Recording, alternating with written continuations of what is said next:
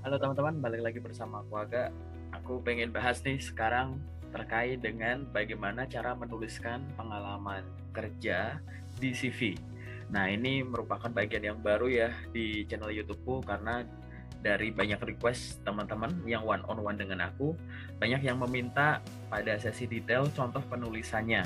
Dan di sini bukan contoh penulisan yang 100% akan membawa teman-teman untuk memperoleh pekerjaan langsung, akan tetapi ini bisa digunakan sebagai bahan pertimbangan teman-teman untuk menuliskan pengalaman kerja di CV. Karena menuliskan pengalaman kerja di CV tidak hanya menuliskan secara jujur, tapi di dalamnya itu ada mempromosikan diri. Apa bedanya teman-teman yang sudah memiliki pengalaman tersebut dengan yang belum punya? Yang sehingga akan dijadikan pertimbangan bahwa teman-teman ini mampu ya mampu untuk melakukan sesuatu karena sudah pernah memiliki tanggung jawab sedemikian rupa kemudian telah mencapai suatu pencapaian yang sedemikian besar sehingga setelah teman-teman berakhir untuk bekerja di sana memperoleh suatu skill baru yang bisa digunakan mungkin di perusahaan ini yang sedang teman-teman lamar. Di sini pertama aku pengen ngasih contoh adalah pengalaman kerja sebagai pramuniaga.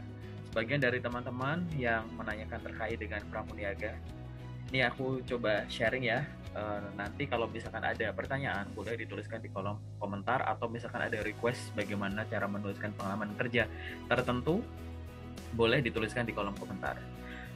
Aku bahas terkait dengan pramuniaga dulu. Jadi pramuniaga itu adalah karyawan yang bekerja di suatu uh, perusahaan ya dagang di mana mereka memiliki tugas untuk melayani konsumen. Jadi ini hubungannya dengan jual beli. Mungkin teman-teman kalau misalkan pernah datang gitu ya di mall, kemudian ada yang menyambut, menanyakan teman-teman mencari apa, kakak dicoba dipilih dulu kakak, misalkan begitu. Itu contoh-contoh saja ya. Nah untuk pramuniaga sendiri ini ada uh, beberapa job desk ya yang pasti teman-teman itu miliki. Ini cuma gambaran aja teman-teman yang aku tuliskan di sini gitu.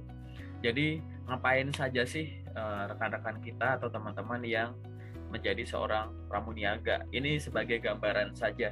Mulai dari harus memiliki pengetahuan yang baik terkait dengan produk yang di display yang ditawarkan. Kemudian kalau ada yang bertanya ya, kita coba untuk menservis sambil mereka lihat-lihat kita tanyakan ada kebutuhan apa mungkin mereka akan langsung menyebut nama produk mungkin mereka akan bercerita dulu jadi gini mas saya itu ada kendala gini-gini gini bagusnya buat apa? Nah kayak gitu. Jadi tidak secara langsung gitu ya. Walaupun namanya melayani memilihkan opsi-opsi barang yang mungkin mereka cari atau ada barang alternatif yang akhirnya menjadi solusi intinya kan adalah teman-teman itu berjualan ya. Sehingga harus ada pemahaman yang baik mulai dari pengetahuan produk, kemudian kita menawarkan produk yang kita miliki dengan tentu menjelaskan terkait dengan fitur-fitur yang ada, advantage atau kelebihan kalau menggunakan uh, produk kita dibandingkan enggak dan benefit yang akan diperoleh apabila membeli produk ini apalagi secara rutin gitu ya. Nah, ini contoh-contohnya aja yang ada di sini Nah, untuk setiap pengalaman kerja yang ada, coba teman-teman bayangkan ya, menuliskan pengalaman kerja di CV itu tidak hanya menulis gitu aja. Tapi ini aku share. Nah, menuliskan di CV itu tadi seperti di awal yang aku bilang tidak hanya menuliskan secara jujur, tapi ada bahasa marketing yang menunjukkan bahwa ini loh lingkup tanggung jawab yang sudah pernah saya pegang gitu. Ini loh prestasi yang sudah pernah saya peroleh setelah saya bekerja sebagai ini, ini loh skill yang saya peroleh. Nah, untuk menuliskannya di CV, teman-teman, baik teman-teman menggunakan CV yang ATS friendly atau tidak, teman-teman bisa menggunakan format semacam ini, gitu. Jadi intinya tuh bukan format penulisannya saja ya teman-teman, tapi poinnya. Versi satu yang aku maksud ini adalah teman-teman cukup menuliskan nama perusahaannya, kemudian timestampnya, periodenya kapan sampai kapan ya kerja di sana awal dan akhir, kemudian jabatannya sebagai apa. Kalau memang pramuniaga ya berarti tulis pramuniaga dan kemudian menuliskan terkait dengan tugas dan tanggung jawabnya. Apabila teman-teman memiliki tugas dan tanggung jawab itu nulisnya secara narasi itu tidak masalah. Di sini aku berikan contoh yang pakai balance atau nanti teman-teman pakai numbering juga boleh. Bagi teman-teman yang menuliskannya itu di CV. CV kan space-nya terbatas ya apalagi teman-teman hanya menggunakan satu sampai dengan tiga halaman. Sehingga agar muncul banyak kata kunci teman-teman itu nomor satu bisa menuliskannya. Tidak usah panjang-panjang untuk satu tugas gitu ya. Yang penting apa kata kuncinya itu masuk. Yang kedua, apabila ada hal yang teman-teman bisa sebutkan angkanya, prosentasenya, growth-nya gitu ya, teman-teman boleh tuliskan saja. Hal ini akan membedakan tugas dan tanggung jawab dan definisi umum. Kalau teman-teman jadi sales atau penjual gitu ya, produk pakaian gitu, teman-teman nulis menawarkan produk ke konsumen. Apa bedanya sama teman-teman yang lain? teman-teman bisa menuliskan misalkan menawarkan produk ke konsumen untuk apa misalkan menawarkan produk baju ke konsumen dengan brand ini gitu untuk mencapai target penjualan sekian buah misalkan teman-teman bisa sebut atau senilai sekian rupiah per bulan dan lain-lain gitu. Kemudian teman-teman juga bisa melihat di sana bahwa teman-teman itu bekerja itu punya fungsi yaitu untuk bekerja sendiri dan akan ada porsi untuk versi pelaporannya. Karena teman-teman pasti ada yang mengsupervise gitu ya ada atasannya. Sehingga jangan lupa pada teman pada saat teman-teman bekerja apa yang dilakukan secara harian pelaporan apa harian ada nggak mingguan ada nggak bulanan.